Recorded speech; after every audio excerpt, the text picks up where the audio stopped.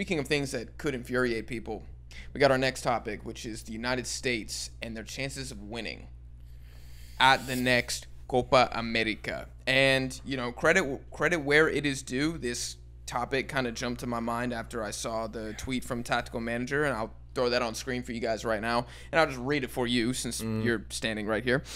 Uh, he said, I don't think it's crazy to think the U.S. men's national team can win the 2024 Copa America. Number one, it's in the United States. Number two, outside of Brazil and Argentina, the U.S. can compete with any other nation in CONMEBOL. Number three, just hope Brazil and Argentina cross paths early. If so, the U.S. men's national team would only need one upset. He also said Uruguay is better than the United States, however, very beatable. Ecuador, Colombia, and the U.S. are about the same level. Now, let's break this down how we talked about last night. You guys let us know in the comments where would you rank the United States in terms of the favorites to win the tournament? What we're going to do now is we're going to start with the pros, okay? We're going to play devil's advocate because we don't agree with this, but we're going to play devil's advocate and we're going to say, okay, what what is the argument that lends itself to the United States lifting this trophy? And then we're going to give the cons to that argument, and then we're going to tell you guys how we really feel. So you can, you know, skip ahead if you just want to get straight to our opinion. Number one pro is exactly what he said, which is it is in the United States. Yeah. That is a massive. It cannot be overstated enough how important that is. That the tournament will be here because if it was in Ecuador, this this is a laughable No conversation to have. It's honestly offensive to have But we, we've talked so much about how much the U.S. depends on being at home for their success. Right? It is. It's honestly, it's it's it's worrying it is worrying. how distinctly they play home versus away. You know, and um, you know the a pretty a pretty reasonable World Cup run, um, notwithstanding, we rely very heavily on being at home and being on specific stadiums at home Yes. Um, to to that's that's very much to our advantage. Now, how is that going to play out with the massive amount of Latinos that we have in this country, and uh, Latinos who will want to go to this very climactic Copa America here? Um, there's a lot of storylines culminating in this one, and a lot of people are going to want to be there. A lot of Latinos know this, but also soccer is its its stock is raising here in the United States. So I think you know East Coast games, West Coast games. There's going to be a pretty reasonable USA presence there, which is going to be very good for us. My biggest pro for us is that we are young and we are athletic. I think we happen to be a lot more athletic Yes. than a lot of the Latino teams there. What they have is skill, tenure, and experience. We have young, raw athleticism, and I mean, I hope we're gonna have some heart. Are we more athletic than Ecuador? I would say that That's- they're, that's a they're one of our they're one of our biggest competitions. What them and Bro, Colombia are physical too, man. Colombia's physical. Colombia's physical. They're they're bigger. I think overall are older bigger? too. Little, little, little a little bit team. older. So we might edge them on speed, but we don't have a guy that can compete with like a Yerry Mina in the back. No, we were just talking about guys like Cuadrado and like how underrated they are. Like Mm-hmm. the man still got it. Yeah, the man does still have it. Luis Diaz, those golazos he was scoring in the last Copa.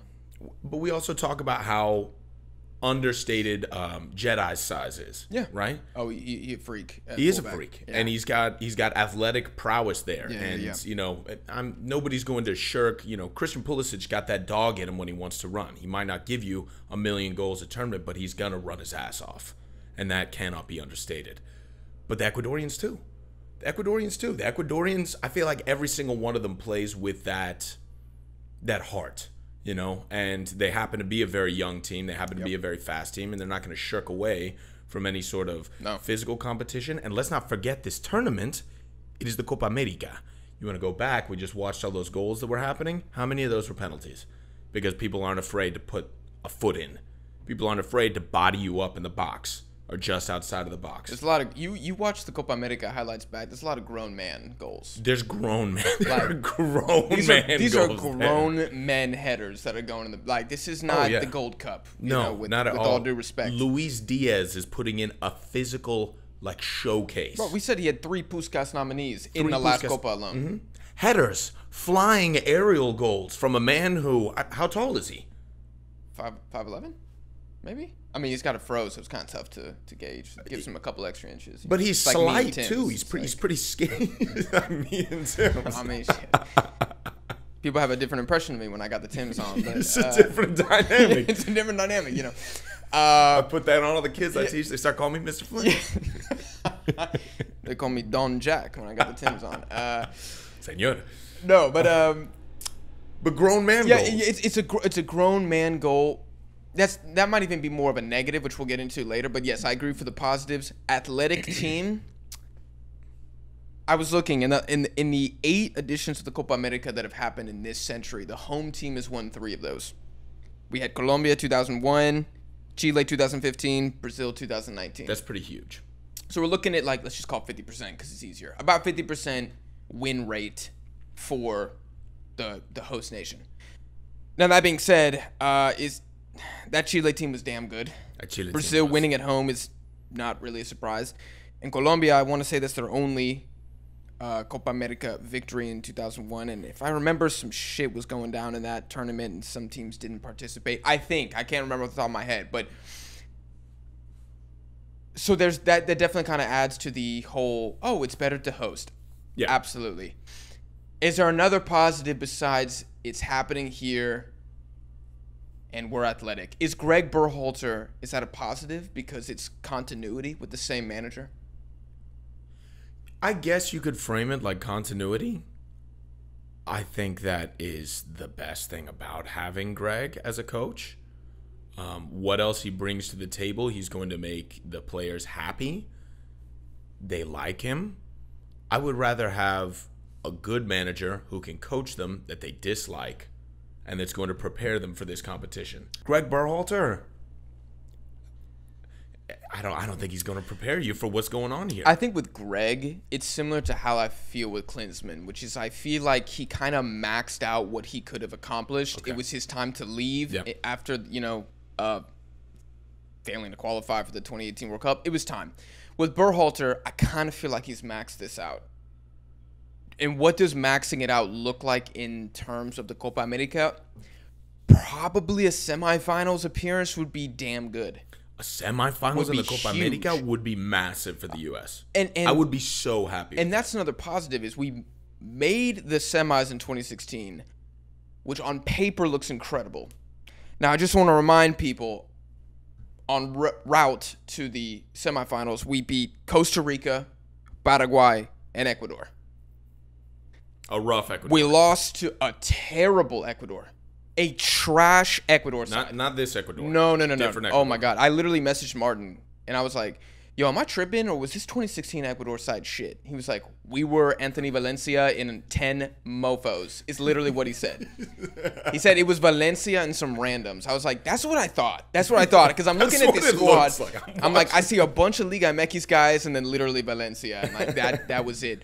I think Dominguez was still the goalkeeper too. Not the greatest string of victories. No. And you know, this is why sometimes just getting the dub is more important than how you get there because people forget how you get there. they just see the trophy. correct. They just see, oh, semifinals. Oh yeah, Mexico bounced out in the quarters to, to Chile. It's like, yeah, well y'all I mean you beat Paraguay.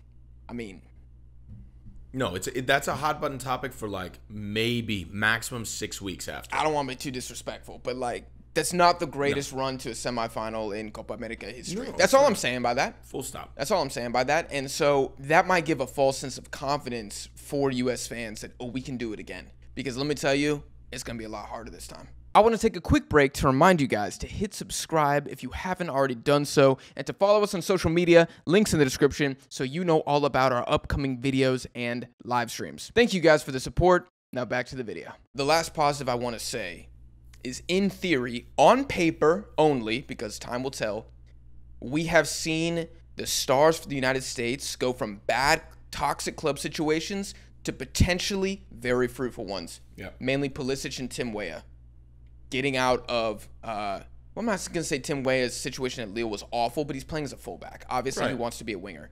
Not sure what will happen at Juve. It'll probably be a wingback role. And Pulisic gets out of Chelsea, which is huge, massive to AC Milan. I think it's a great situation for him. Even Brenden Aaronson, he not ready for the Prem. He's in the Bundesliga Union Berlin. Great. Who gives a fuck that it's a less popular, less sexy club? The man needs to play. matter. The man and he wasn't good enough. No. he wasn't good enough. No. So, I think they made some moves on the personal level that could lead to better performance with the Nationals. Agreed. Agreed. No, this team is very much still looking like it's on the track of, of this, you know, similar prototype or uh, yeah, similar prototype to Ecuador. The ceiling has yet to be determined. We Yes. need to see where these guys are going to fall. This is not where they're going to land, you know, at their peak, the peak of their abilities. Very much not going to be this tournament. But it is going to be crucial to see on the road to their development, right? These are still kids, they're still maturing. We are going to get to see the fruits of all of their labor and they've made some really wonderful moves that could really pay off with some high-end progress. Yeah. You know, some really wonderful progress and that will be exciting but also nerve-wracking to see cuz I've invested interest in in the USA winning. Don't don't get it twisted. This isn't like a, oh, I hate the US, I want to see them do poorly at Copa America, Argentina all the way. Argentina all the way for me. Mexico all the way for me. I would I would be happy if the US made made a decent run. And we'll do a Mexico at a later date. Yeah. I don't even want to bring that team into the discussion because then we're going to be here for an hour and a half. okay, so now we're going to do the cons uh, for this argument that the United States are going to potentially win the Copa. Not that he said they were going to win, but but said it wouldn't be unrealistic. it wouldn't be un. It wouldn't. Did he even say surprising? I don't want to twist the words. No, no, it wouldn't be crazy to think. That's Yeah. what he said. It wouldn't be crazy to think. Um, Which look, he he raises he raises a good point. I know we're moving on to the negatives, but he raises a good point. It would not be crazy to assume this is the part that I Yes. wholeheartedly agree with that they come out with an upset. Yes. Because if they do make Agreed. the progress that I think is like best case scenario or on the way to best case scenario, and a team shows up and they played like England did on the way to the, the World Cup, I think we could sneak a win away. We could sneak an ugly one to zero, typical Copa Yeah. America win. yeah. We could do that. Tyler Adams could could could put in that midfield shift that gets us the the ball possession to to feed somebody a goal. You know, we mm-hmm. could see some individual superstardom or a, a pass string together that ends and culminates in something nice, and we get a one to zero if the other team is off of their game. Yeah. I agree. The It's negatives. Unthinkable. And if we Right. forgot any positives or any pro arguments, you guys comment down below. throw it down there. Yeah, throw it down there. I mean, if, We want to have a discussion. yeah, here. yeah, yeah. Let's. This, the thing we were talking about this last night. The last thing we want to do is like absolutely, you know, take the piss on on either side of this argument. yeah. yeah. because there are nuances to to be discussed, and Mm-hmm. that's that's why we're making this video. But I, I agree. Like, okay, United States win 2024 Copa America. Is that crazier than Greece winning the Euro? I don't think so. I think Greece winning a Euro is one of the greatest anomalies in international football. Agreed. Yeah. Is it crazier than Qatar winning the Asian Cup? Probably closer, I would say, because Qatar, they were probably like a the sixth favorite. Yeah, and U.S. is probably, in my book, probably the sixth favorite for this Sixth tournament. favorite. Greece, bro, they're probably like fifteenth. Yeah. Yeah, they're probably like that. We we will probably never see that again. Um, probably it'd be like. Haiti winning the Gold Cup or something. It'd be like insane. Be like my boys Guadalupe. Guadeloupe. It was close. What what could have been? What, could've could have been? Um, so yeah, I don't think it's outlandish to. Su- I don't think you should be like whipped for suggesting that this could happen. I just disagree, and Yeah. we'll get into the cons now. Do you want to take the first one? Um, the first con is, is going to be the most basic one. It's overall skill level. Um, the magic that we see from South American ball is um, is what people love. I I'm Argentine. I do not like Brazil. They play at their peak the most beautiful football. It is the beautiful game because of Brazil. Yeah, samba. It's football. samba, Yeah. samba football, and they will samba on you all night long, and and it can be gorgeous. We're not seeing that from this Brazil, but at the peak of their abilities, it is the reason that the beautiful game. I'm talking Ronaldinho, Ronaldo, Rivaldo, um, even Neymar. People love to hate on him now, but dude, Neymar, it's gorgeous. Some of the goals that we saw If you score. think Neymar sucks and you you just don't know ball, I'm sorry. you- Like you don't. I hate hate to use that phrase, but like you just you just pretty ignorant, my friend. very very ignorant i mean it's it is just insane the goals that we were watching him score yesterday athletic, effort driven, the the technical, the touch, the the beautiful dainty passes that he did, little toquecitos, bing bing bing bing. For bing. me, it's his assist game that's underrated. it's it's unreal, dude. Yeah. The way he can sniff out a pass almost instinctively, it's it's beautiful, and Yeah. the the finesse with which he drops them right at your feet.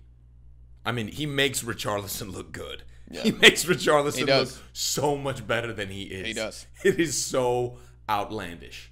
Like it, it's it's just unreal. That's something Kane and Son couldn't do. Yeah, and it's and it's something that the U.S. does not have. We don't have anybody like that. We don't have anybody with a magical touch like that. Do we have moments of individual brilliance that can potentially lead to goals? Okay, mm-hmm. but we, we didn't see anything like that in, in, in the Gold Cup or or the World Cup. Oh, like, Gold Cup squad's not even worth talking about. yeah. Okay, then then we won't. But our senior team, the best of the best, cannot drop balls right at the feet of the players that need them. Balogun, I think, is going to have a severe issue after playing in the French league. It is going to be rough watching him come up against some of these bigger center backs that are going to play a lot more physically. And I don't even want to. Well, we'll talk about the refs in a second. That'll be my that'll be my next point. You want to take the next negative? From the from a talent perspective, just to add on what you said, I think you would need to see a United States roster with everybody pretty much on their A game to make a semifinal. Healthy and on Yes, their A like game. I I need Gio Reyna to go beast mode Mm-hmm. for that to happen. I need Balogun to be extremely clinical. When he gets the chances, he puts them away. Because you know, when you're playing against an Uruguay, you might only generate three chances in one game. You miss those, tough shit. Yeah. You're not winning. I want them to call him a tap in merchant. I literally I want all of the reviews to say Balogun tap in merchant. That's totally fine with me. That means the balls are getting to him where they need to be, and he puts them away. Yeah. That's it. I I think most I think most US fans would agree with you. Um, it, it just comes down to like if, if Pulisic has a bad tournament, if Weah is ineffective, if if Jedi's getting beat one on one on the outside, that will work against uh, Venezuela, Bolivia, any of the other CONCACAF teams that the US somehow ends up against. It won't work against the best teams here. And the second the, the second uh, con that I have is, is is really just speaking to the competition itself. I mean, I think teams like Uruguay had a disappointing World Cup. Colombia don't even qualify. Ecuador don't advance. And people might look at that and say these teams ain't that good. These teams are beatable. And if you've seen Colombia recently, cook in Germany, they're on fire. Their their manager Lozano has them looking. I put them above the U.S. right now in my power rankings. I probably have Colombia as the fourth favorite. I probably go Ecuador five, United States six, and then probably Mexico seven, and Canada. I'm a, I'm gonna be real. John Herdman, he's kind of lost me a little bit. I've kind of lost faith in that program. He's lost the program. Yeah. Um, could they upset? Like, could Canada upset the United States in the Copa? Sure, I think they could beat them in a one-off game, but I don't see them beating Uruguay and all these other. Like, I, I just don't. Are you kidding me? Estaquiao is gonna get humiliated. Bro, we're talking about a Marcelo Bielsa-led Uruguay. Like that is a statement appointment. They have ushered in a new era of players. This isn't the Suarez Cavani two-man up top show anymore. This team is is going through an internal revolution to kind of modernize the team and the way they play. This is the best Ecuador side on paper, arguably in history. Now, can they put that together? Maybe. I think Felix Sanchez will have them prepared by the time the Copa comes around. Peru, bless their heart, they're on their Bless their heart. that generation. They, they've given every drop of blood that they have for Peru. They're still tough to beat. Those Yeah. guys don't give up. The United States can't score one against Peru and then chill. Peru will not stop. Under Reynoso, I think he's done a decent job. And then Colombia, I think, are resurgent. They are. That is a wonderful word for them. They're resurgent. Yeah. They're resurgent, and a resurgent Colombia is not something that you want to see. Everybody associates them, I, at least I have, with the 2014 Colombia and James Rodriguez. That's no longer a factor. This is a team now. Yeah. This is a whole team, and it's a team that is pissed off about the last Copa America. They're pissed off about the World Cup, and they're showing up hungry for blood. Let's not get it twisted. This is not the Euros. This is not the Asian Cup. This is not the Gold Cup. This is this is Copa America. My next point, the the refs, I have no idea what these refs are going to look like in the United States. I wonder if they'll be CONCACAF refs. I wonder they better not.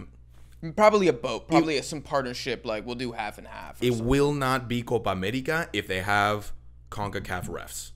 You need CONMEBOL refs. Refs that are going to let the fellas play when they probably shouldn't.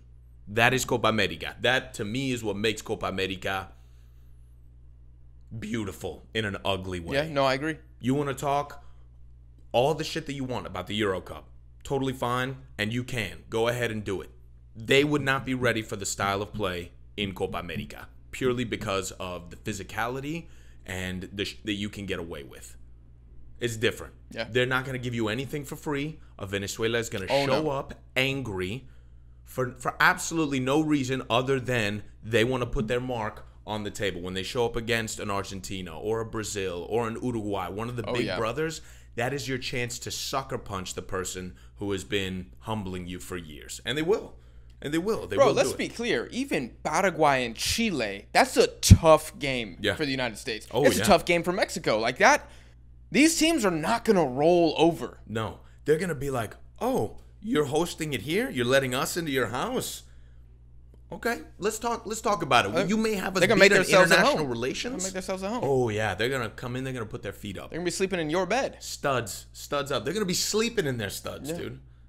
We'll see. We'll we'll see how it goes. The refereeing, I, agree. think, is gonna play a huge part, and that that could swing. That could that could be the difference. That could be the difference maker for the progress of this this U.S. men's national team. Now, I think if any team can match that Copa America style play up until now, it's the Weston McKennie ripped jersey fighting against Mexico. It's it's the uh, Jedi physicality in the back. It's the um, oh my God, please help me um, in the middle. Um, dude, Tyler, Tyler Adams. Adams? Tyler Okay. Adams, angry sort of uh, uh, possession style ball. Yeah, he's These gonna have to be huge. He's gonna have to be huge. Yeah. And I think that they can be, but I still think even if they show up angry playing their A game, I still think that they're not going to be ready. They're going to get punched in the mouth. And if they can survive that first punch in the teeth, then then we'll see. We'll Yeah. see how they go. This is going to be a big test to to watch their progression from boys to men. The game against Mexico, that was a big one. That was a big one. This is going to be even bigger. I agree. And then kind of going off that uh, the negative, um, I, I think I have to list Greg Berhalter. Yeah. Because when I think of his entire time in charge of the U.S., I'm kind of struggling to think of that trademark win. Like, is his trademark victory beating Iran one nothing in the World Cup? I mean, yeah, he beat Mexico in uh, Nations League final. You know, that's probably a, a nominee for the. But we Mexico are not likely doing shit at this tournament. So you can't be like, oh, we're beating Mexico, we're in good shape. No, no, no, because Mexico are in shambles right now. It's rough. It's Like- a rough situation. Yeah, we, we have an interim manager who came in, won the Gold Cup. Awesome. We're looking for, I mean, the semis would be huge. That would be massive. Huge for Mexico. Like, that has to be the objective right now. Um, so it's just not a good barometer. And then who, who you, you beat Canada in the Nations League? We also got stomped by Canada. You also got stopped. We don't need to rehash that game too much, but like you score a set piece goal 12 minutes in the match, completely changes the game from there on out. If Chris Richards doesn't score that header, who knows? Like, I, I guarantee you it's a tighter game. So I don't even think the gap between the U.S. and Canada is like as big as some U.S. fans are trying to make out. I don't think that's the case. My point is, whenever Greg Berhalter led the United States against really good teams, whenever he led them against CONMEBOL teams, he did a decent job, to his credit, of not losing very often, but he rarely won. Right. He rarely won. I mean, I was I was kind of looking at it. So he had six games in charge against CONMEBOL teams. He had one win, four draws, one loss.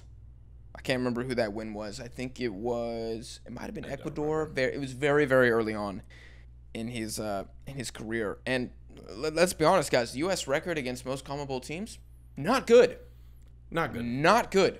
So yeah, it's a, it's a star-studded U.S. team, but I just think people aren't aware enough of what's going on in CONMEBOL. Yeah. Like these teams aren't just chilling. Everybody's gonna try to win this goddamn tournament. Yeah. And can Berhalter adapt to a tough game down one nothing against Marcelo Bielsa's Uruguay? I don't think he can. No. We haven't seen it. We have not seen it. We have not seen. It- I mean, look, we were just saying we need everybody playing at optimal abilities. You come up against a manager like Marcelo Bielsa, he's going to know how to eliminate one of those players from the game. Yeah. And if we need everybody firing on all cylinders and he silences a Tyler Adams or he silences a Jedi, that is a gaping, gaping weak spot through which he can then abuse us. Like he is that quality of coach. Let's not get it twisted. Yeah. And we saw, remember when Leeds first came back onto the map, everybody's like, "Oh my god, who's Bielsa?" And they're like, "Oh, right, that's Pep's like mentor." That's what we're going to see from this Uruguay. I fully expect to see a resurgent Uruguay, way more physical, way more athletic, way faster paced than we have been used to seeing them. I'm scared. Dude, if you want to power rank just the favorites for the Copa, like I'm gonna maintain I have the US sixth. If you want to power rank the managers at the Copa, Dude. Where is Greg Berhalter? Is Greg Berhalter the sixth best manager? I don't even I don't even know. I, I, I don't I don't think I know enough to, to speak to that, but my instinct is to say no. I, I really have no idea. What does he bring tactically to the table, especially in a South American CONMEBOL context? How is he? Right. How is Greg nice, friendly, get along with everybody? Except Gio Reyna, yeah. Cool, yeah, cool manager Brooks. Greg. How is he a guy who you know has to deal with like subterfuge on the team and a mismanagement of that? How is he going to prepare these guys for the mentality that's going to be in Copa America? That's why I like Klinsmann because Klinsmann's a hard ass. He's German. It's no bullshit. I'm going to tell you like it is. I'm scared Greg's going to coddle people. I don't know. Is there an argument that Berhalter is outperformed with the U.S.? Because I rate, I don't really rate managers for winning things. Like I do think that's very important. I rate managers who exceed expectations. Okay. Like, I'm sorry, you put Greg Berhalter on Qatar in 2019. They ain't winning that fucking Gold no, Cup. no, they ain't winning that Gold Cup. That's a good question. Um, Like, how was a how was Berhalter doing if he's managing Colombia? Do they bounce back in the way that they've done no, no, no, not post well. Carlos Queiroz? But I- Probably I- not. The the reason that Bull, Berhalter has found like a modicum of success is because he is a very American coach, coaching a very American team in a very American way. They respond well to him. Yes. The lads like him. He has so the trust of a lot of the players, He has the trust of a lot of. He's got the locker room. Yeah. He's got the locker room. minus one or two guys. Yeah, Minus one or two people will try to go at us in the comments. No, the team likes Greg. Yeah. Gio Reyna might not like Greg. Claudio Reyna might not like Greg, but Pulisic does. Tim Weah does. Yeah. More of the guys that matter, if you want to say that, they do so like they Greg. play for him. Yeah. Is uh, do we have him there for the tactical masterclass? Absolutely not. Absolutely not.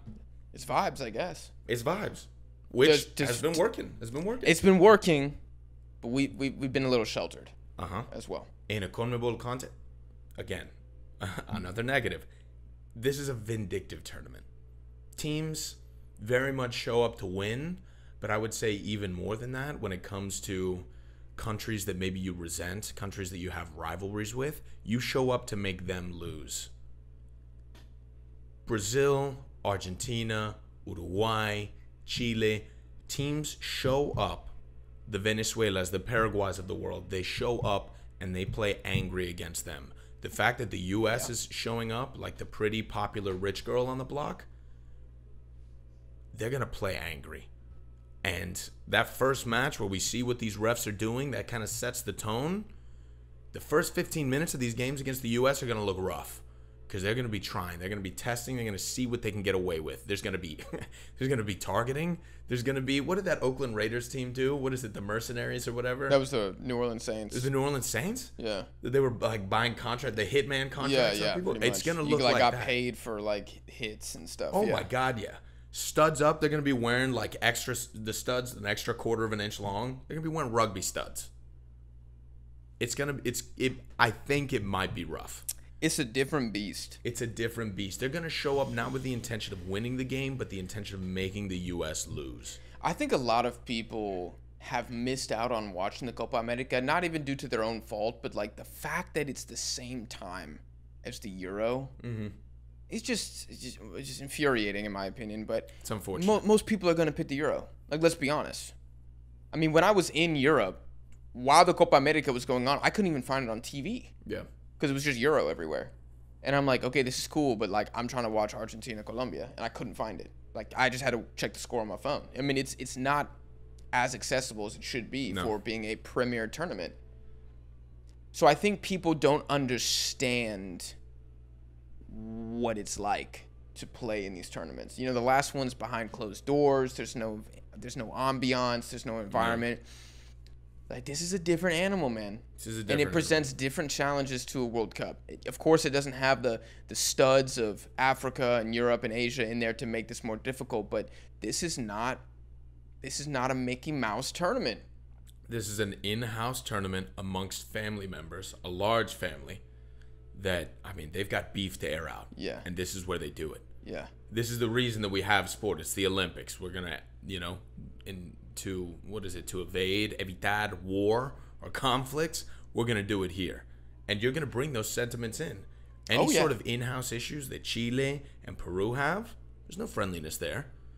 Any sort of animosity that they have, they're gonna air it out. Argentina, Chile. If you think there's not bad blood there still, sorely mistaken. And everyone, everyone in South America resents the U.S. Every oh, single Oh, sure. person. They might be friendly to you when you go to Medellin and you want to go out and you club and you can see how nice it is on the TikToks and everybody wants to work remote there and then party at night. They're gonna body you. Yeah. They're going to body them. Oh yeah. Oh, after they see this Body logo, they're going to body. Dude, can you think about this? Think about this in in like an international context. What would dude like the the French say if like the Euros was somehow miraculously hosted in the US and there was like uh, uh, an American flag behind their trophy or the English saw Yeah, that's a good point. some shit like that. Or what if we had like the Gold Cup in in England or the Super Bowl was hosted in the UK and you saw the Union Jack behind your Super Bowl? Yeah. I'd lose my fucking mind. I'd be Yeah, furious. yeah, that's a good point.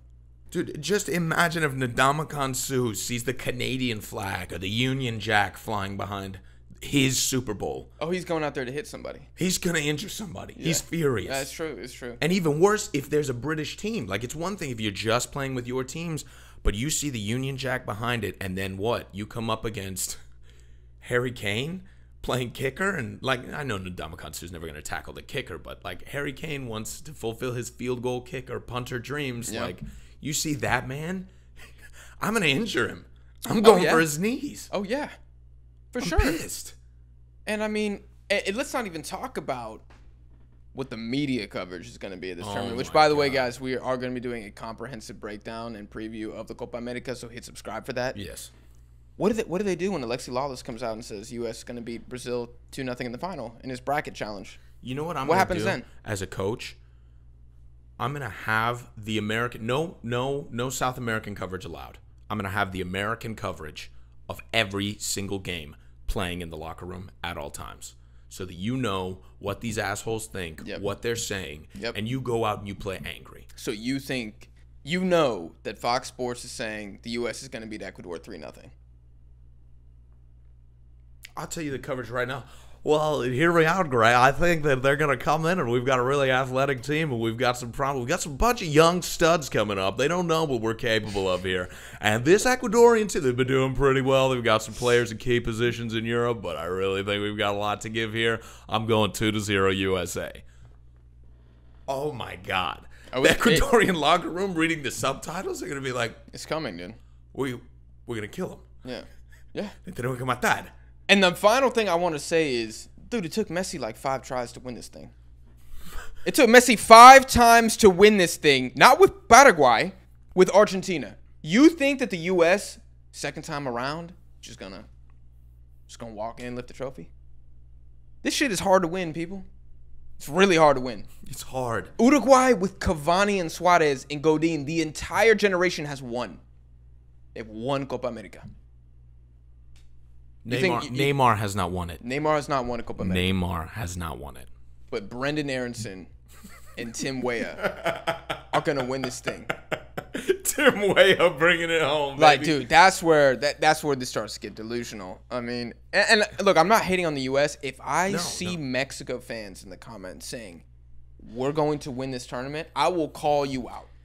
I will absolutely block that shit at the rim because it's completely delusional. And you're setting the team up for failure if you let that narrative start circling around that, like, oh, yeah, Mexico should face Argentina again in the final. No, no, we shouldn't. We shouldn't. That would be a massive overachievement. So I don't want us to be like, well, of course Jack's saying this. He doesn't like the U.S. I'm just being real. And if you can't handle that, that's on you. Yep. I'm sure there are some accounts out there that are saying that, you know, 2026 World Cup, U.S. is going to win that too. But you're not going to see that on Deadball TV. I'm sorry. No, absolutely uh, not. You just, you just not. Um, we're pretty much out of time here, guys. So you got anything else you want to close with? Who are the favorites? Uh, I would say Argentina is the favorite number one. If Brazil get Ancelotti, I'll put them up there. Need to see more from Bielsa's Uruguay first. Exactly. Yep. Because they've only played two games without any of the first team guys. So it's literally impossible to gauge. Bro, Colombia look good right now, man. Colombia do look good. They look good right now. Colombia and Uruguay are my sleepers, just to see like what happens there. Um, I don't think I love Ecuador. I don't think they can win it. I don't think they can win. I don't it. think they They're- can win They're not there yet. I don't think. I think it would be bad for them to win it. A semifinal would also be good for Ecuador. Yes. Oh, I think it'd be great. That'd be Fantastic. I want them to. What I would love go out in a two to three game against a giant in the semifinal. Just to like taste blood, get them angry, and let them know that they can win. They can win or lose in pens or something like that. Yeah.